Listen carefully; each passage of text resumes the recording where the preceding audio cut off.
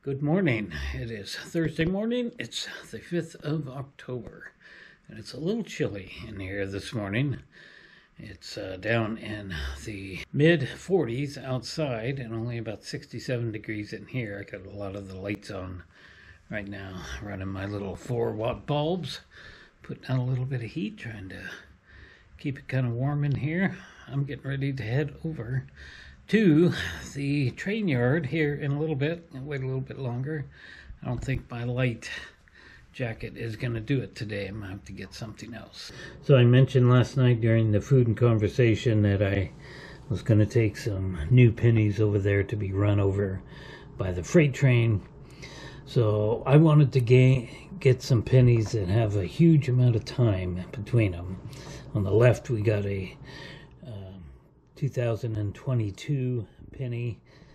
And that's the newest one. I, I couldn't find a 23 I don't know even know if they make uh, new pennies now. Doesn't seem to make much sense to waste our time on making pennies. And then on the right is a 1967 penny. So according to my math that's 55 years difference. And the reason I want to do this is to see what uh, what they're going to look like, uh, the difference in them after they've been run over.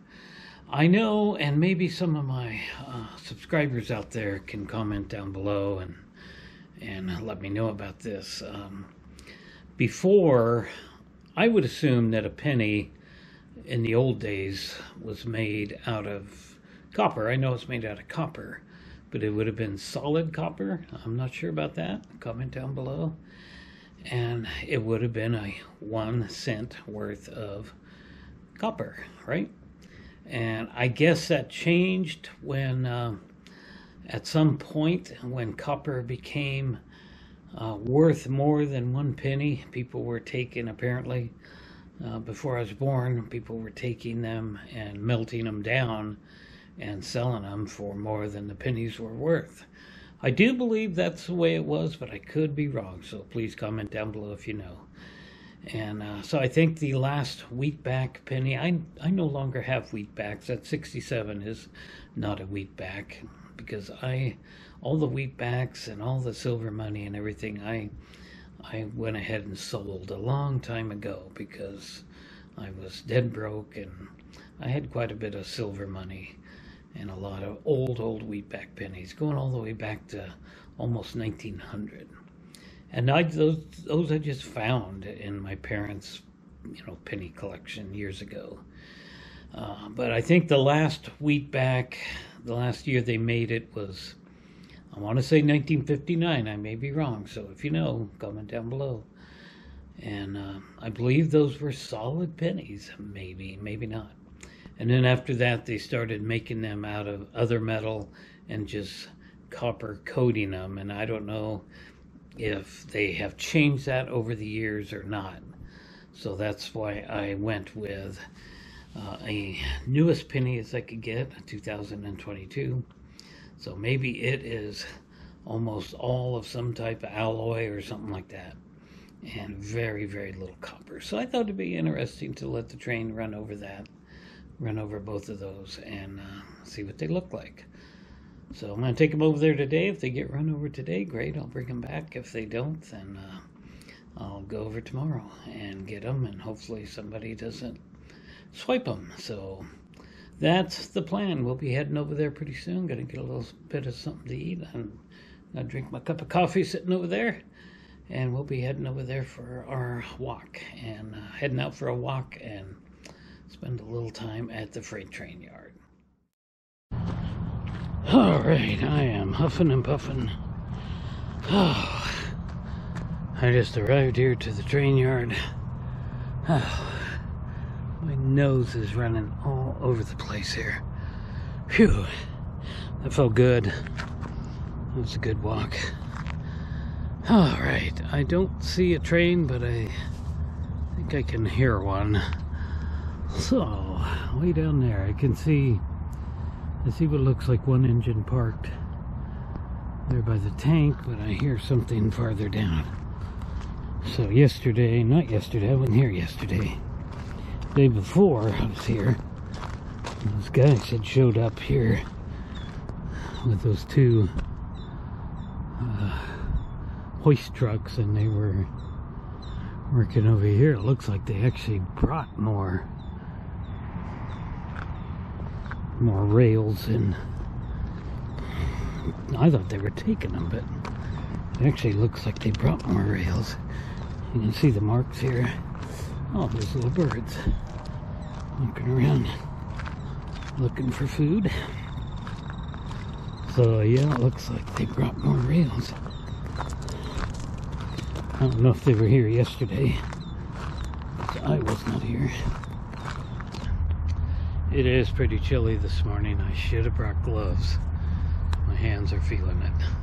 And I just put my long sleeve comfortable shirt on and uh, thought that would be enough and it is. But my hands are getting chilly and he's getting a little closer. But I'm sure he's gonna back back down. We're not too far away from our post there at the end of the puddle of water but he's way too close for me to go out there wandering on the main line.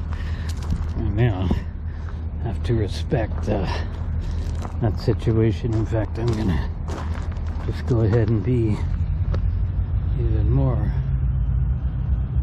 respectable. And he's going forward, so let's get off of this line too. I think there's virtually no chance that he's gonna be coming here. I respect those guys and their big toys, the engines. He's down there throwing a switch, so he should be backing up now and going into the yard. Into their, their little storage. Yep. He's reversing now. So I wrote myself a note here telling me which track to put the 67 penny on and which track to put the 22 penny on. And I even indicated the post. So I just got to get over there and do it. It's just to it's just to remind me. And here they are right here. The nice shiny one is the 22. And the dull one is the 67 just to show that that one is not a wheat back. Neither one of course are.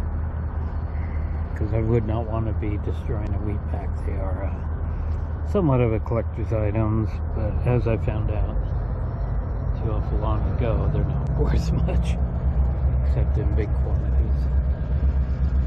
He's going backwards. Let's take a little walk over here. Okay, let's set our new ones out. Okay, there's the 2022 sitting right there. And over here is 1967, 55 years between those two. The engine is still down there.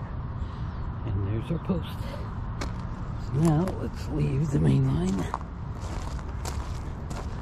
In case those guys are getting ready to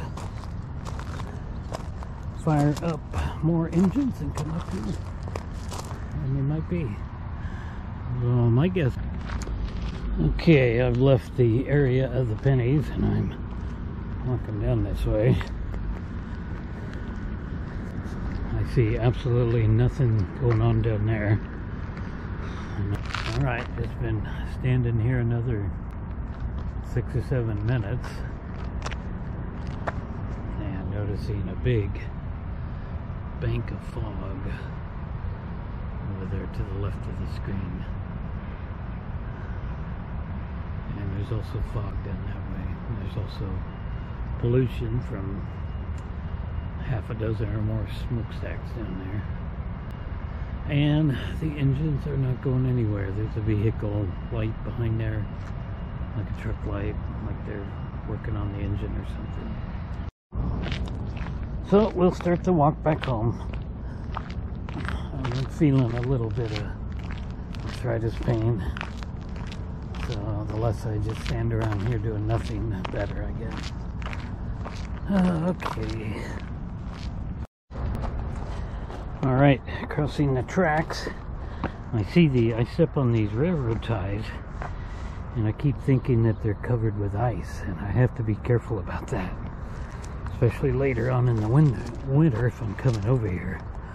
If those things are moist at all and they're covered with ice, boy, I could have one heck of a fall down accident.